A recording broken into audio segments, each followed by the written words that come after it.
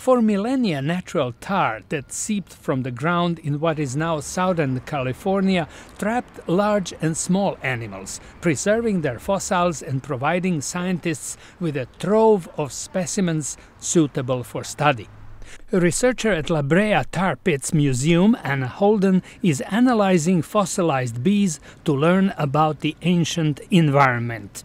I'm trying to reconstruct what the climate was like and also what the local habitat um, but this bee offered kind of unprecedented information in a way.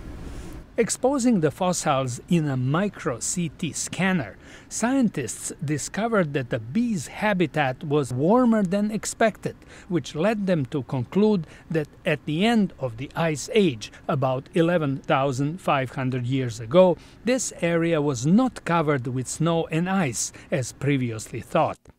Holden says that unlike the large mammals that came to La Brea from South America or across the Bering Strait, insects' limited range allows the collection of detailed information about their immediate environment. Insects have very specific life cycles, so they're just really good paleoecological indicators. Um, in other words, you know, they're just very specific in their behavior, their habitats. Holden says whoever collected the specimens in the 1970s did a very good job of keeping records about it. Comparing that data with the present findings can reveal something about our future.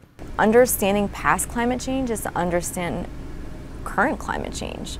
Um, climate change is a big issue right now, and insects are often really good indicators. Holden says her work may help today's farmers fight the problem of collapsing bee populations by switching over to bee species better adapted for the changing climate.